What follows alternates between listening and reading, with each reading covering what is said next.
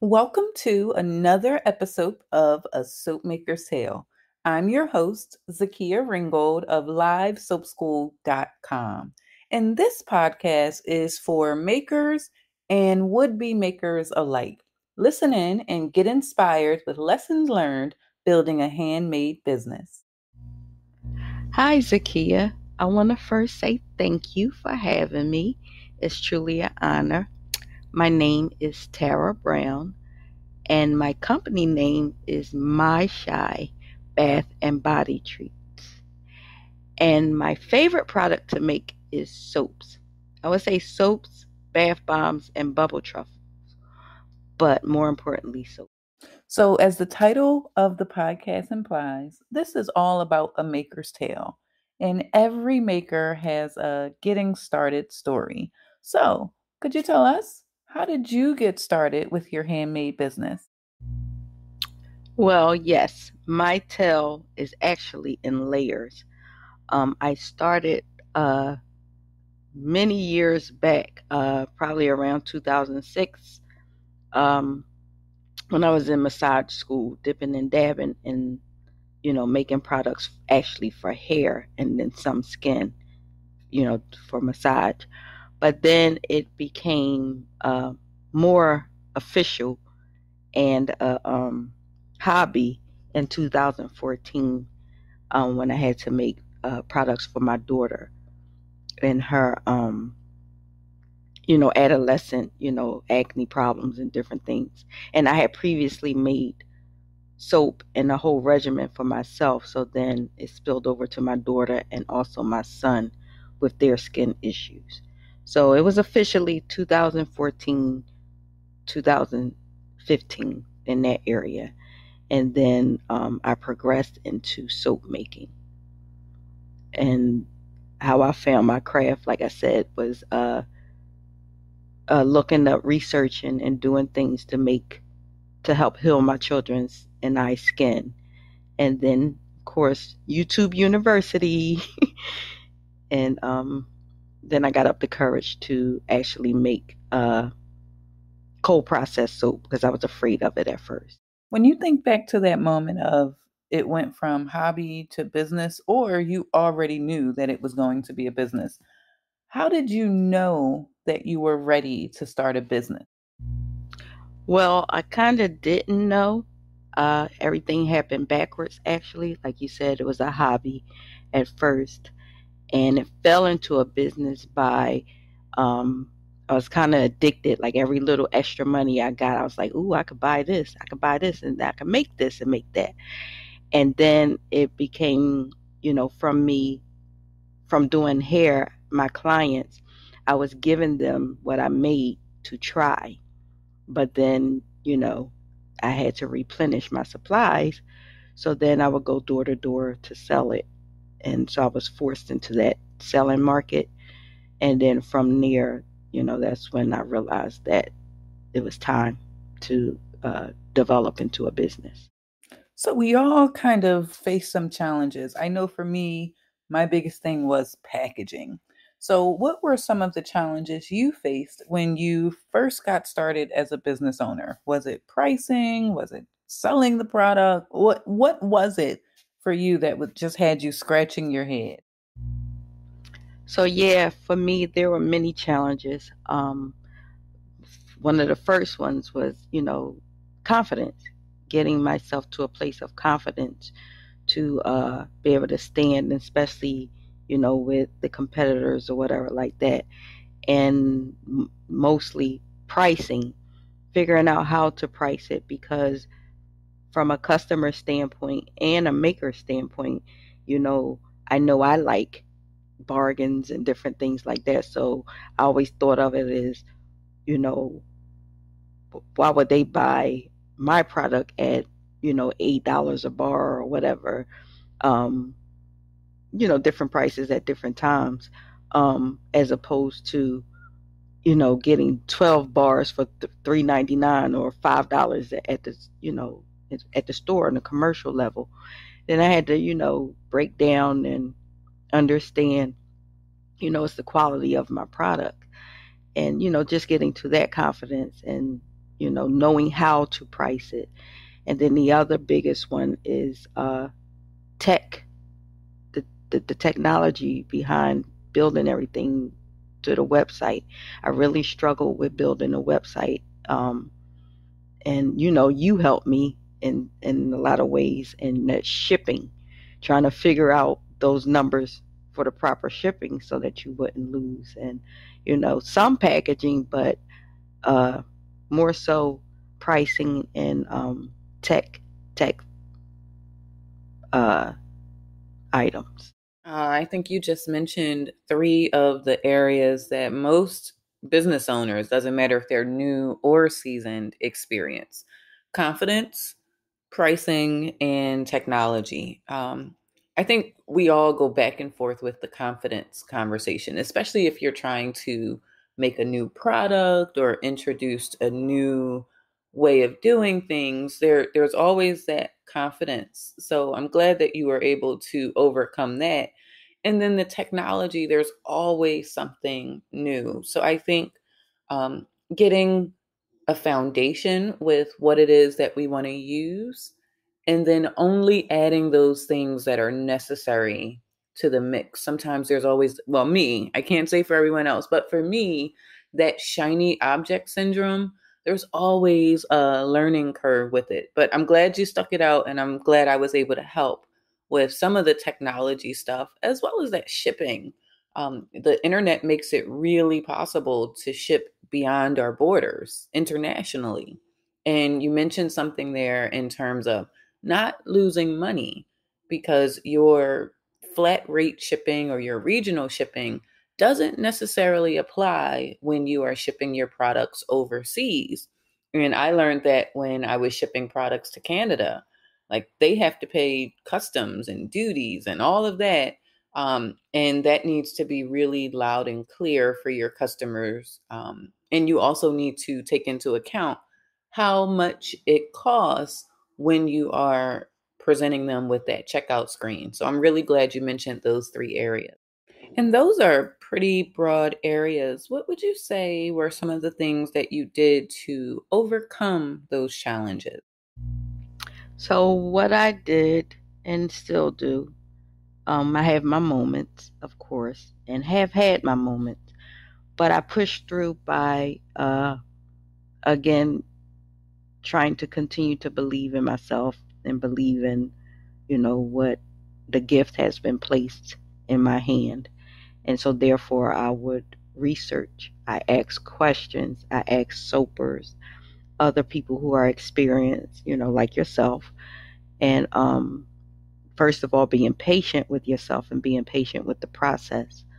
Um, so I would, uh, you know, patiently, no matter how slow it was. Like again, using the website as an example, it took me six months to build that. I had to pay for a website that I wasn't actively using for um, six months. Um, but I had to do it. Uh, you know, like I said, research, read, ask questions. Um, and just keep trying, keep doing it. Even if you I failed at times it got frustrating, I'll just pick up and keep going. And and that is even the case now. Like there's so many things behind the scenes that are frustrating, but you know, got to keep going or you know, find resources, you know that that can help, and that's what I've done and continue to try to utilize. I think a lot of people can appreciate that. And it's that keep trying part. They say you fail 99 times, but then as long as you get up 100, it's not a failure. And so that keep trying and reaching out for resources or looking up things really helps you to keep going and get over those challenges. And then it's like, ah, I can finally breathe because, hey, it wasn't so bad once I've gotten over that particular challenge or roadblock that I was experiencing. So you've had those challenges. Now, what would you say is something that keeps you motivated in your business? I'm excited and motivated to keep going, even when things don't go as planned. Um, because, for one, I'm excited to see the end result um, of the product.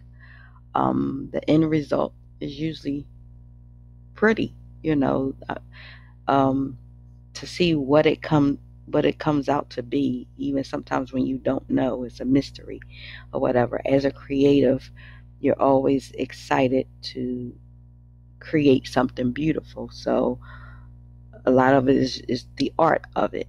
The other part of it is the benefits. The benefits um, in the ingredients that I use. I pick the top of the line ingredients that are most beneficial to people's skin. Um, the whole idea of my uh, my goal is to create an in spa, in home spa experience. So you get that experience along with, um, you know, beneficial ingredients to your skin to help heal a problem. I, you know, the fact that I can help with that, that brings me joy. Being able to help, I think self care is very important. I know for me, um, I found myself a lot of times um, you know, when my children were small and, you know, different just life issues and different situations, I find myself, um, my quick escape was the bathroom, you know, especially if you have a house full of people. Uh, the bathroom is usually my escape and and talking to people and knowing you know different people women that's the same for them so just having an oasis me able to provide um, tools. And you know whether it's bath bombs or soaps or whatever those tools to help uh, with people's self-care and their moment of getaway you know. Sort of like Calgon take me away is my Shai take me away. So knowing that i can help with that the excitement of you know making helping somebody feel good in their self-care journey and and you know get through that moment those tough moments. So and then i know that um, i wasn't imparted this gift for nothing because i would have never have guessed in a million years. Sounds cliche but i would have never guessed that i would be making soap. I didn't even realize you could make soap. I thought it was you know all machine based or whatever. So um, I was a cosmetologist. I started as an artist drawing, but I would never have saw this coming. So I don't think it was given to me for nothing. So I, I kind of feel obligated to keep going at least a little longer, you know. So that's what motivates me most importantly the art of it, um, the joy of it is fun. You know, sometimes I'm, I'm just in my element creating and the end result of helping people. I know all about that bathroom escape, and I know a lot of women and mamas in particular can um, relate to that in particular. So, you creating those products for them to kind of have that zen moment while they are in the bathroom. And even though the kids may still come knocking, um, you think you have your moments of privacy, but they find you. But you creating like an in home spa experience is really, really exciting. So, um, even though we're talking about those challenges and some of those experiences, what would you say is something that you look forward to when you wake up in the morning or something about running your business as a business owner, whether that just be you personally or even interacting with your customers? So, the best experience for me is first having the flexibility and uh, ability to call my own shots, to do things when I choose to. Even though you're still not really, you're still on a schedule, but it's still for you. My hard work is for me and my family and my, um, uh, you know, for the, the future of my family. Um, building toward my own future.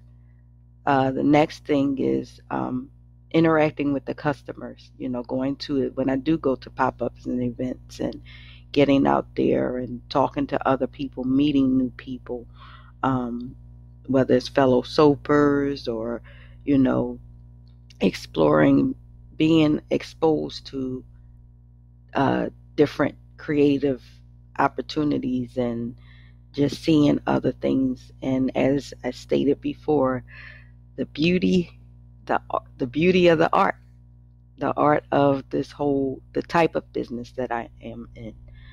Um, but most, yeah, the customers, the flexibility, and then the reviews, getting the positive. You know, not all are, but for me, uh, gratefully, most have been um, positive feedback.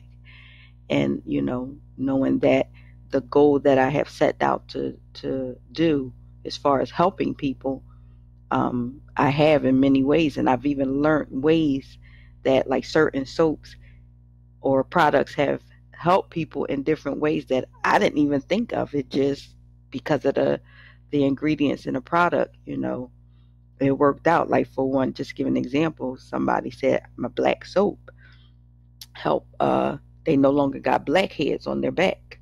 So I didn't even think about that, you know. So yeah, it's the customers and, you know, meeting new people and, you know, seeing different avenues or whatever and the flexibility and, you know, working hard at your pace on your time, even if that means all day, every day, but you're working hard for yourself and for your family and the future of your family and, and the next generation.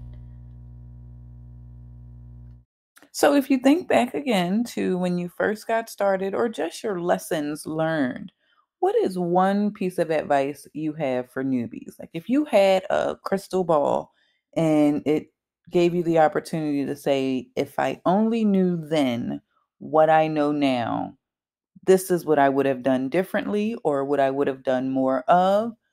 What is that advice that you would have for a newbie thinking of starting their own handmade business?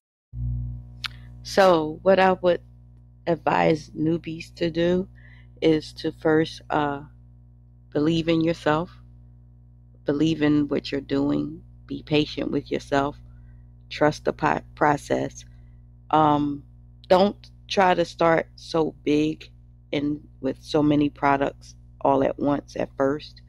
Um, we all try that and uh, you know get overwhelmed or whatever, but you know pace yourself. Start small.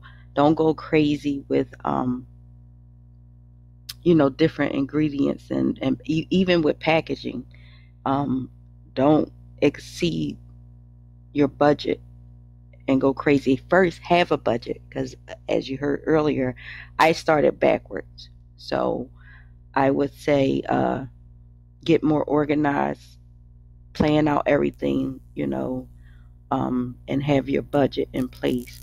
And if you can get all the knowledge that you can through resources, you know, asking questions or whatever like that. Um, don't be afraid to make mistakes.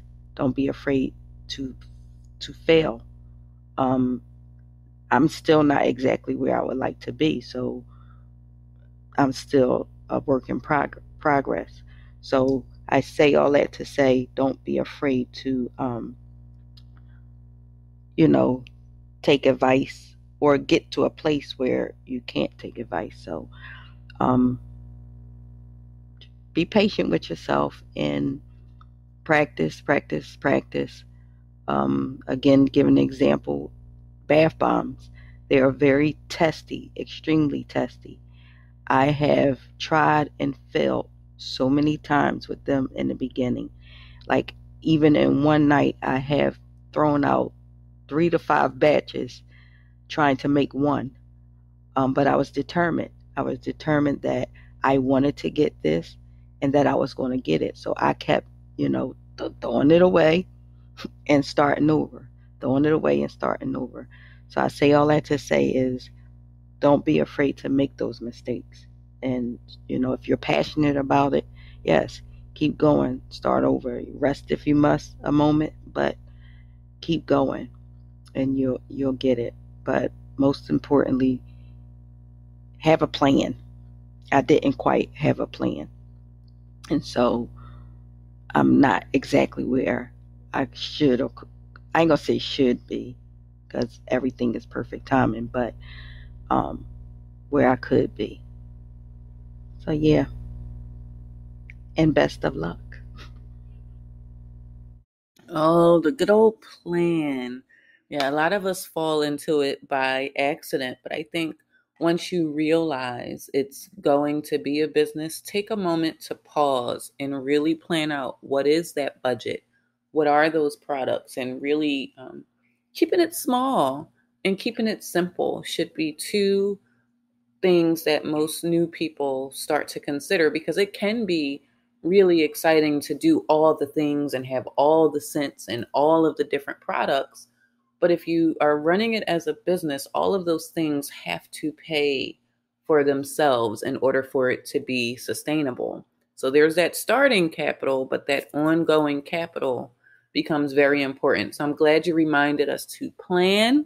And even if we fall into it by accident, once we know, hey, this is going to be a business, pause, reflect, and plan. Well, that's pretty much it for the interview, but I always like to leave room for anything that I may not have asked.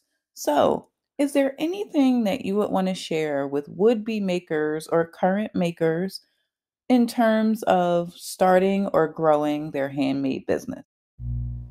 So, yes, I would also like to share with the newbies um, don't be afraid or feel a way that the um the business is saturated. You know, yes, you have many people doing the same thing, but don't feel um, like you can't succeed or get to a level you wish to get to because somebody else is doing it. Um, we all have our own unique uniqueness about what we're, you know, what we do. So keep that in mind and don't get discouraged because it's going to be moments, you know, that would discourage you. But don't let, don't be defeated by that. Um, just keep pressing through. And as I said before, you know, stay confident in yourself, trust the process, and and just keep keep going. What they say, slow and steady wins the race. So it's not going to be an overnight overnight success. Some have been lucky, but for the most part, it is not overnight. And know that. And just, you know, just keep going and, and striving, and you'll get there. Thanks, Tara. Slow and steady wins the race. There is no such thing as an overnight success, and there's no elevator. You have to take the stairs to where you want to be. I, I really appreciate you taking the time to do this podcast interview and to share your own experiences as well as your words of wisdom. Now, how can people find you? What's your website? Do you hang out on social media? Please let us know. My pleasure. And thanks again for having me. This was a really good interview. Um, I can be reached uh, my website is actually my Shai, M Y S H A I, bath and body treats.com. Again, that's my Shai bath and body treats.com. And on Instagram, TikTok, and Facebook, it's at my Shai bath and body treats. Again, the website is my Shai M Y S H A I, Bath, B A T H, and A N D body B O D Y treats T R E A T S dot com. I know y'all is long, but that's another story. but uh, I wish everyone luck um, in their journey, business journey, whether it's a newbie or you're scaling up. And thanks again, everyone. Well, that's it for this week's episode of A Maker's Tale. A special thank you goes out to Tara of My Shai Bath and Body Treats. Her website and links to her social media will all be listed on the show notes of the podcast. And I hope that you were able to take away some really, really pivotal things. Some things I heard was the importance of research but most importantly, your confidence and belief in yourself as you're starting out and as you're continuing in your business. There's always going to be a roadblock or a challenge. But if you have that mindset of embracing it as a gift, this is a gift that you have been given, and it's something that you're really passionate about and something that you want to do, as Tara shared, that constant belief in herself and continuing to keep going, even though it felt a little difficult at times, that may just be the spark that you need to give it one more try and keep going. I'm your host, Zakia Ringgold of LiveSoapSchool.com. Thank you so much for listening. And as always, go out and create something amazing. I'll talk to you next time.